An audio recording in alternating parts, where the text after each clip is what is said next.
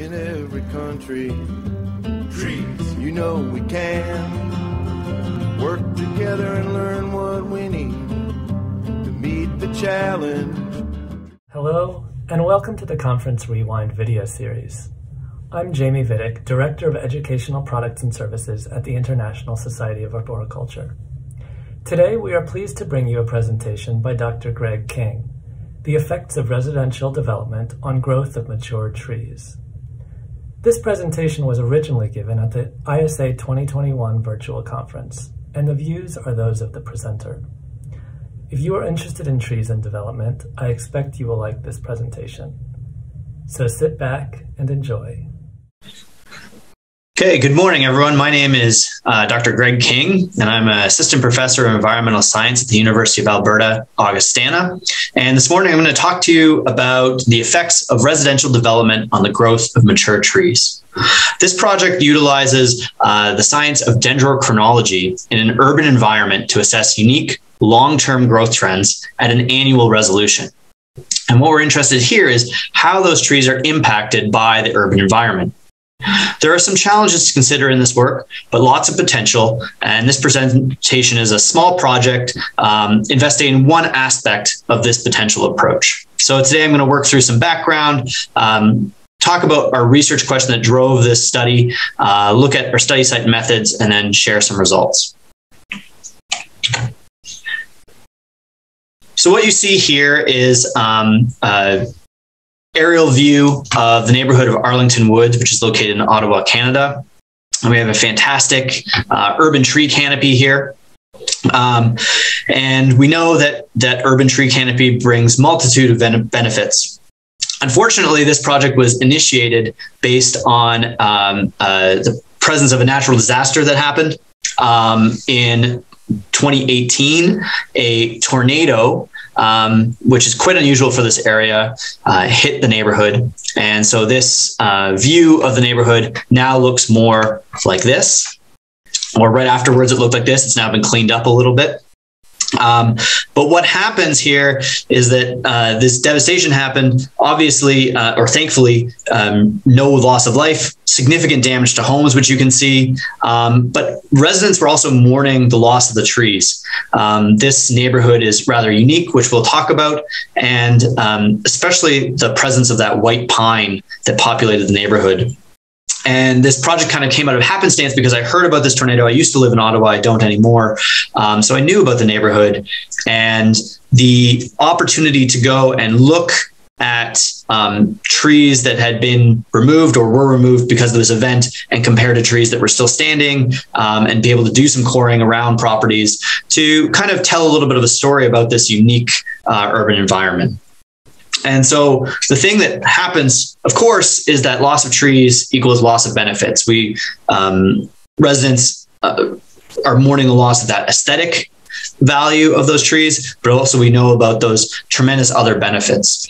Um, and I think that we talk about that benefits and then we say, okay, well, we can plant trees. But in this case, and in many cases where we remove mature trees, we actually are talking about this loss of canopy equals loss of benefits, and the amount of time that actually takes for that um, those benefits to reaccrue or regrow um, is tremendous. So in this case, this graph is just from an example tree, uh, a white pine tree from this neighborhood and we can say that it took many decades to reach tree size that would accrue similar benefits. And so we're talking 50 or 60 years from now, even if we replace every single tree that was lost in this tornado, um, we, we, would have to uh, wait many, many decades to, to have that. And so this brings in the question of can we retain those mature trees? Now, in the case of a natural disaster, we can't. But an equivalent kind of human disturbance is often um, with development.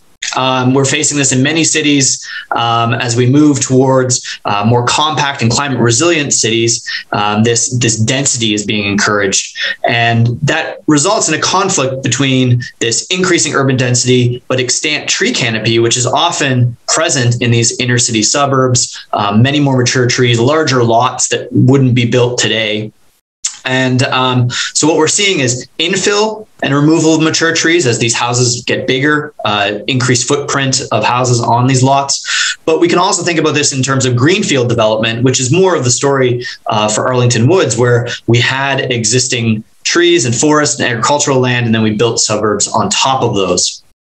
Um, and so this um, development process happens, and oftentimes we say, well, we have to remove these trees for this development, but is it possible to retain those trees?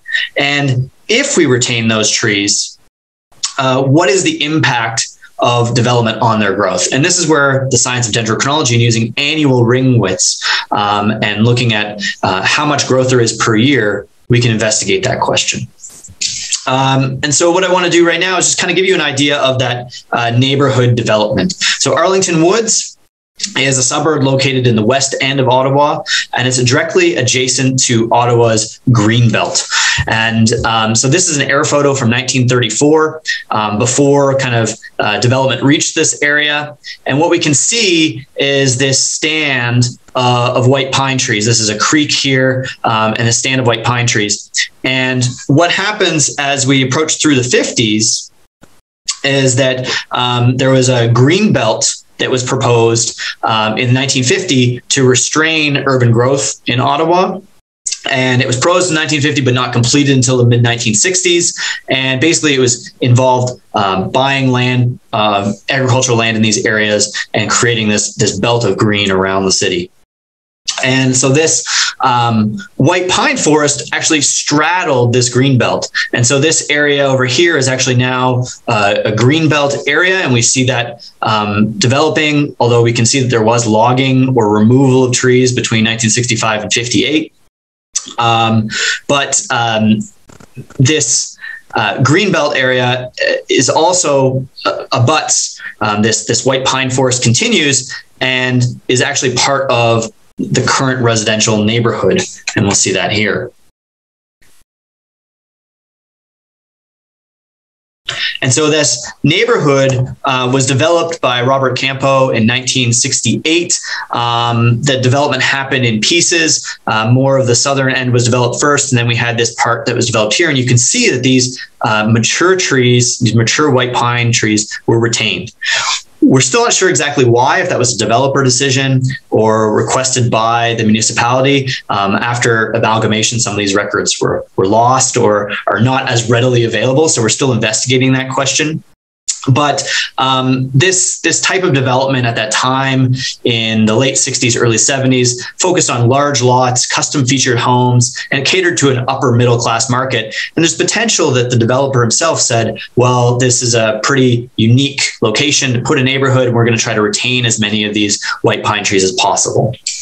And so, what we can see um, from a more recent uh, air photo uh, this is from 2014 is this is kind of zooming in on the neighborhood from the top and it's a nice photo because it's taken um, just before leaf out for deciduous trees so all of these trees that we see are the white pine trees and the remnant stands that exist from the creek on your screen right here, all the way across through the neighborhood into our green belt here, which is starting here on the left and continues for um, several kilometers the other way. And so, what this study site looks like we're in Ottawa, uh, which is in eastern Canada, um, just kind of north of New York State, um, and indicated by this red box here. And this is our actual study site. So we're zooming out a little bit from that last picture. And what we did was we went and we um, cored a number of trees. We spoke to residents. Um, this was about we went in May 2019, so about six months after the tornado. Many trees got removed right away, and we didn't have a chance to collect from them, but we did collect uh, from stumps. Um, we're able to core from stumps, and then we also cored some of uh, the trees that were in this green space area. So we split our two sites into a residential site, which is yellow dots, and um, a green space site. And we originally had a ravine and these other lands, but they responded so similarly that we kind of grouped them in together into this green space. And we also looked at, we measured DBH of these trees, and I'll talk about more about that in a second. So, what does this neighborhood look like on the ground?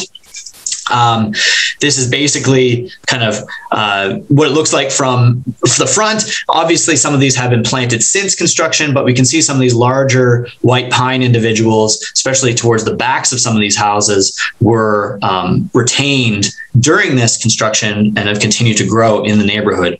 Um, and at this point, I should have uh, provided a caveat to look away if you're in Western North America and think about fire smart planning, because this is a neighborhood that certainly did not have that. Um, thankfully, in an area that was a little bit less in in um, danger of fire, um, but we ended up with the loss of those trees from this um, tornado that happened in 2018. And so uh, we're focusing here on one species of tree. This is the eastern white pine or Pinus strobus. Um, it is Ontario's provincial tree. So potentially that played into that decision making from the developer about uh, should we retain this trees or not. Mature trees are very large, up to 30 meters or more tall, very large DBHs. Uh, in natural areas, they can commonly live for 200 years and have samples have been found in Ontario from over 500 years old. Um, the regeneration is uh, linked to wildfire. And so in this case, this stand of trees is linked to a fire that happened in the 1870s in the area. Um, and this, uh, th- this stand uh, generated that point. And so, uh, looking at the ages, uh, we see that our trees were about between kind of 80 and 100 years old, generally speaking, um, some going back a little bit further, although we were coring at breast height, so we didn't get um, true tree age in that sense. So, what were our methods? Um, basically, we uh, contacted residents in the neighborhood and the uh, uh Natural Ca- uh, National Capital Commission, which manages the green belt for access to that green space, uh, and we collected tree cores, which you can see on the left, um, or cross sections. Uh, it's nice when you have arborist friends who live in the area and they can bring their chainsaws out and collect cross sections for you from these samples and these stumps. Um, and these were located throughout the neighborhood in the adjacent green space. And we did this in May 2019. We brought those back to our lab here in Alberta and we did um, cross dating and measurement through our microscope system and scanning uh, of those images to do measurement as well. One of the challenges for dendrochronology, uh, of the principles underlying dendrochronology is that you can assign a calendar year to each ring. To do that, you need to make sure that um, you're cross dating between. So basically, this uh, boils down to pattern matching. Um, sometimes urban trees present a challenge in that sense because ring widths are quite variable. And so it's not the only signal you should rely on. And so we tried to incorporate some visual signals as well. Interestingly, uh, there was a study that was done in 2011 on white pine in the Outaouais Hills, which is basically uh, 25 kilometers north of where we're working across the Ottawa River into Quebec. And what they were looking at were interannual density fluctuations, or basically false rings. So this happens when um, a tree is stressed late in um, the growing season um, and basically begins to shut down but that stress is overcome. You know, uh, drought is averted, or um, you know, more precipitation is really received, and so then the tree continues to grow for a little bit more. And the study in 2011 found prominent interannual density fluctuations in 1955 and 1959. We were able to use those to actually uh, anchor our tree rings to know that they were dated properly because many of our tree rings also showed this 1959 especially false ring here. And so this is a zoomed in this is a, a, a white pine core dated back to 1918 and you can see this 1950 ring and this is a, a false ring. So this is not an actual year but rather a um, stress response and then growth that happens after that and so this just provides an, an, idea of that cross dating and what we have to do to ensure that we have um, calendar dates assigned to each ring. So into our results here. Let's talk about our general characteristics. Um, basically, this shows um, a, a, single line graph for every single tree that we cored. Um, we have green space in our blue on the top and our residential trees in yellow on the bottom. And the mean uh, curve is represented in that thick black line. And this is basically just raw ring width.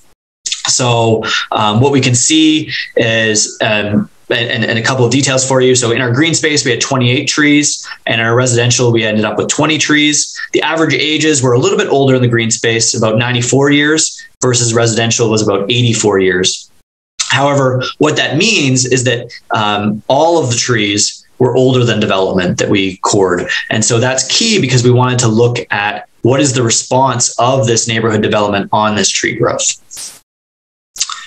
One thing we did was we uh, moved beyond ring width and we looked at basal area increment to look at these overall growth patterns. And basal area increment, um, we use that because it provides a more complete quantification of total wood production. Rather than just the width of a ring, it looks at the total area of, of wood that's deposited in a given year and we convert uh, from ring widths to uh, D, uh, BAI using our diameter breast height or DBH. We also then conducted a numerous st- statistical tests between groups uh, before and after uh, development to look at what was showing up in terms of their response. And um, just a quick primer on BAI. So this is a zoom in on that uh, core we saw earlier from 1918, and you can see the annual rings. Um, and basically, if you were counting ring widths, you'd measure perpendicular to those rings over time. BAI is a little bit different in that from the pith, you'd have your rings uh, going outwards. These are concentric circles. We know that tree growth isn't exactly concentric, but that's the model that's used. And um, what BAI would do is take um, this, for example, this green ring and represent the area of that ring over time. And so, uh, with that model, we get a sense of how much wood is actually deposited um, overall. And what's interesting is that we can actually use and develop a BAI ratio where we look, for example, at a 10 year average um, basal area increment and then divide that by the average total basal area increment over the entire record to look at how that 10 years responds. Is it um, above one, which would mean that it's growing more than the average, or is it below one and maybe is growing less than average? And so here is what our annual growth comparisons revealed. Um, BAI is on the left hand side, and that's measured in millimeters squared. It's the area of any given year, amount of wood that's put down. And our dotted line there, vertical dotted line, represents uh, the year 1970. So, although the development in this neighborhood started in 1968, we have some house dates that are also from 1972. So, we set the development year as 1970, especially in that area with the retained white pine. Um, that seems to be about when construction would have started for some of the houses, although they were done individually. Uh, and what we can see here is we can see differences between the two chronologies. Green space represents those trees that are uh, separate from development, and residential, those trees that are right in the middle of the neighborhoods.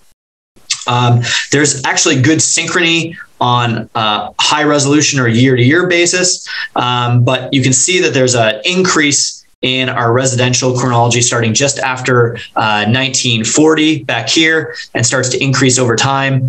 And um, that those green space trees also increase over that period of time, but there's a difference in that growth.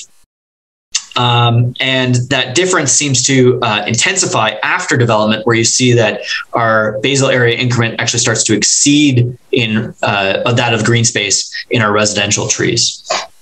And you have to recall that these chronologies are approximately the same age. They likely all initiated in the same post fire period. And so there's two really interesting periods that jump out here. On the bottom, those dots, um, black dots represents years that had a significant difference um, based on a, a two sample t test. And so what we see is one period um, ranging from about 1955 until about 1972. So just pre-development and, and just a little bit post-development where there's a significant difference. And the other centered around the year 2000. The first is likely driven by a shift in that green space uh, chronology uh, and potentially is a management growth uh, release signal. So there was some clearing of the green space. The green space trees kind of respond to that um, by jumping up in their growth for a certain period of time. Um, and then the second one is probably related to an extreme climate event, and I'll come back to that a little bit later in my presentation.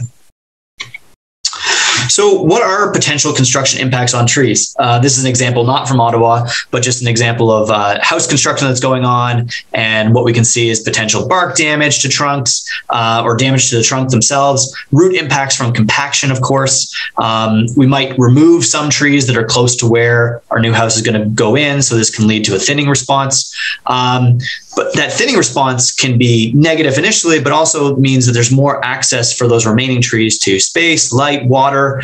Um, and so, although that thinning shock can temporarily slow growth, it can actually uh, increase later. And then what we have after construction is that we have residents, and residents actually change that environment. They may water trees, uh, they may remove lower branches, and that watering can also happen indirectly with runoff from our houses where we like to direct water away from our structures, but that can actually lead to more water availability for trees outside, right? So there's a, uh, both positive and negative impacts that can happen from construction if trees are retained. Um, and so here, what we did was we looked at um, everything. Uh, the basal area increment response after development, so post 1970.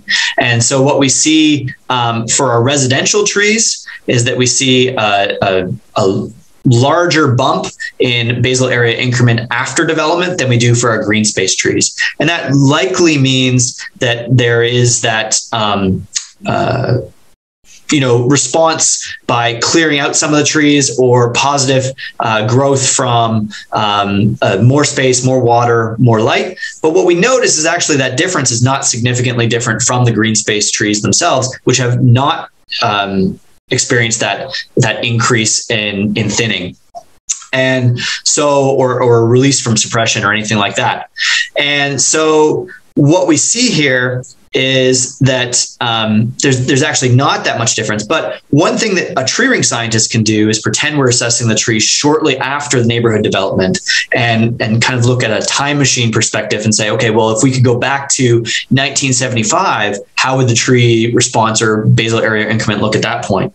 And so what we've done here is kind of split those up. So green space still on your left, still looking at a, a ratio of basal area increment from uh, five years, 10 years, 15 years, and 20 years after construction compared to that overall period. And what you see that jumps out here is this residential response. In the five years post development, a reminder that's 1970, we see that residential trees have a BAI ratio that's below one, which indicates that that growth is um, less than the long term average. But we also see that that as you um, follow that uh, time over the next 10 to 15 years, we actually reach that average BAI probably around 15 years after um, development. And then we actually start exceeding it about 20 years after development. So we do see that initial shock. Um, of construction, maybe removal, but then we actually see this recovery and um, we should also note that there is slight differences in our green space trees, and that could represent different climatic conditions, um, maybe some removal of um, of certain trees in there for pathway development or recreational use, but not very much difference at all. And it's basically statistically constant.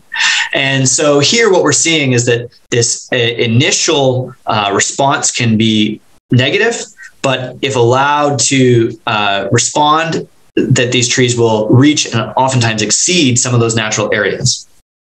So, what does this show in terms of a climate response, though? So, here we're going to go back to our ring widths and we actually detrend the, the ring width series to remove non climatic signals. So, what we were looking at before had everything in it.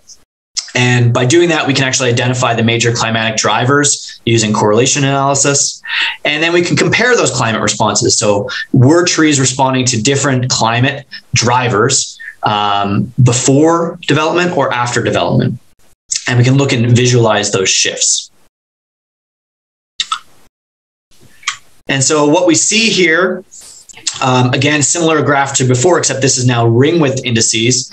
Um, and so an average of one, and we see that points where growth is exceeding or uh, falling below that level. And um, there's actually pretty good synchrony here. Um, we do shorten our chronologies so that they cover the same common period as uh, as each other and as our climate data, which goes back to about 1924.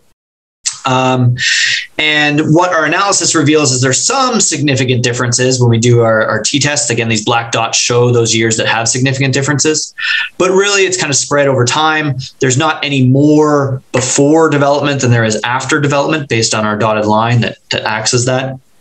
And what our analysis revealed was that it was really about um, a drought indice, so both a combination of temperature and precipitation that these trees were responding to. Um, and that if we had drought in late summer, it was consistently showing a negative response. Um, and that makes sense um, in the context of those interannual density fluctuations we talked about earlier, those false rings, that these white pine are having a stress response later in the season, and that could potentially lead to um, less ring, less tree growth over time um, in those in those periods.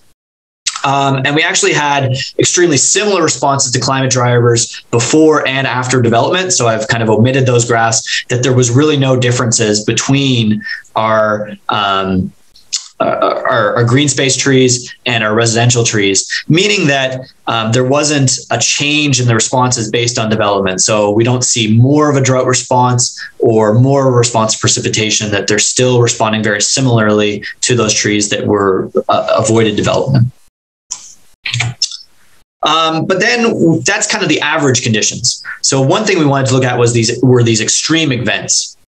And so we can identify extreme years looking at the ring width indices, so extreme drops that happen, but we can also look at the climate data and say, were there extreme years? And here we were focusing on this drought response because that seemed to be the major driver for ring width variability.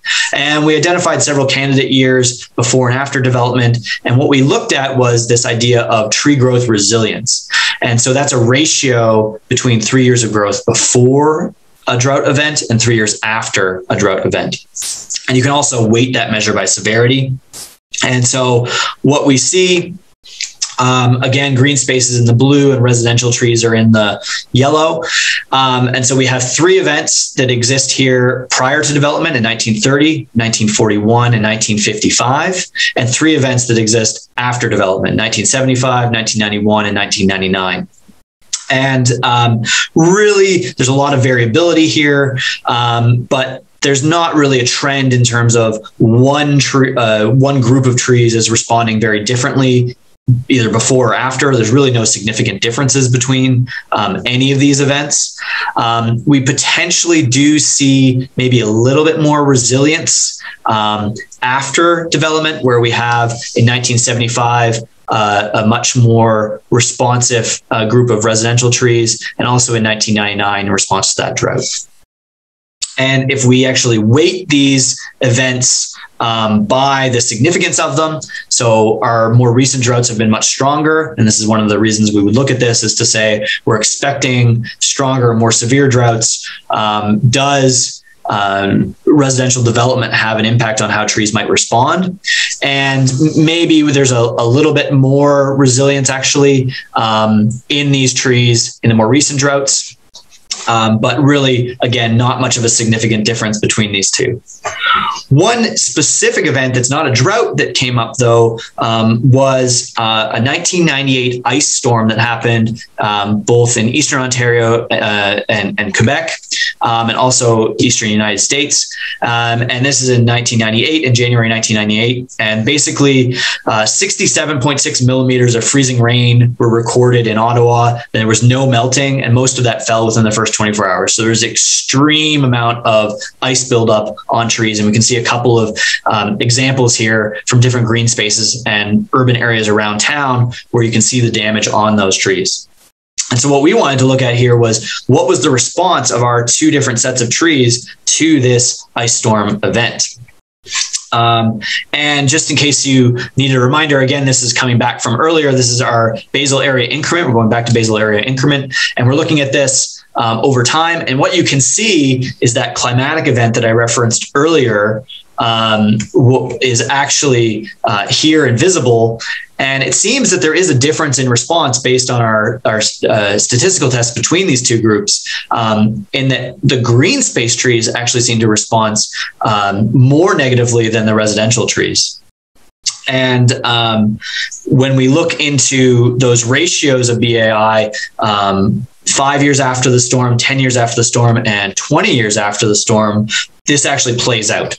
And so, again, our green spaces are on the left here and our residential trees are on the right. And you can see that um, five years after the storm, those green space trees are um, much lower than, than one, um, or the median is much lower than one about 10 years after they've recovered and then uh, 20 years after they've actually started to exceed that longer term um, response and so that's 20 years after that 1998 event whereas um, the residential trees they stay kind of above that uh, 1.0 ratio um, throughout. So there wasn't really that much of a response. And the question almost is, well, what would lead to that? And there is the potential that maybe there's a warmer microclimate in that residential area. You know, uh, heat loss from buildings, meaning it's just slightly warmer, less less ice buildup. Um, maybe because of branch pruning and things like that, there's less ice buildup on those residential trees, especially on lower branches and things than than um, in this green space area. Um, but this could also be a response, you know, five or 10 years afterwards, that there's a longer growing season slightly in this urban area. And maybe by retaining these mature trees, in these uh, residential areas, we actually um, say that over time they've responded to this initial stress of development, and now they actually have greater resilience to some of these climate events simply because they are in a residential area.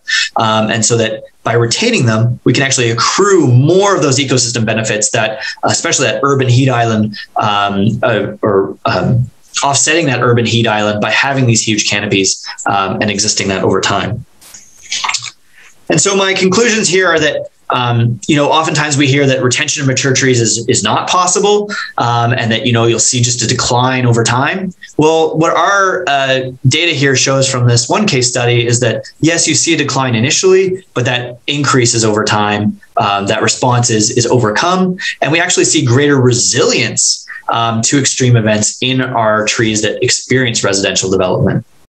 Um, we have very uh, similar responses in high frequency growth and extremely synchronous responses to climate drivers before and after. So there's no real change in that sense. Um, and the extreme drought events seem to not really have much uh, resilience either. So overall, I think this leads to the potential of saying that yes, we should retain mature trees, and yes, we can retain mature trees. How we do that is maybe uh, a different um, question. But in this example, I think it was probably staged because you didn't have um, clearing out of a large area, but instead lot by lot development. So there was an opportunity to kind of work around the trees, remove a few, but retain most of them. And that because all of that development didn't happen at once, it was staged, we could retain and have that resilience of those trees to that development uh, response.